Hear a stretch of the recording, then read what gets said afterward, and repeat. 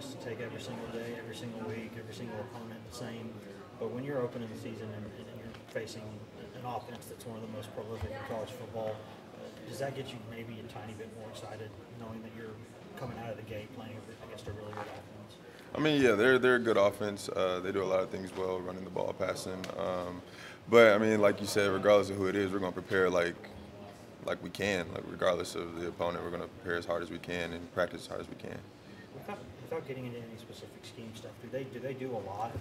Are they a are they an offense that puts a lot on your plate, kind of mentally back there on the back end? Right, they're a great offense. They have a great quarterback, great receivers. Uh, they run the ball well. They do a lot of things well. So that's something that we have to prepare for. If I said you have to do one thing for you to get a win Saturday, what is that? What, what's that one thing above all else? Well, I mean, it, is, it doesn't just boil down to one thing, but I'd say we have to be a tough team, uh, and we have to finish. Two things, I guess. How would you characterize this coaching staff's emphasis on, on turnovers, creating them or avoiding them? Uh, definitely both of those. Uh, defense needs to create turnovers, um, take advantage of your opportunities, and offense needs to limit the turnovers. Is there any sort of emphasis you feel on kind of hunting the ball or making plays on the ball in the air?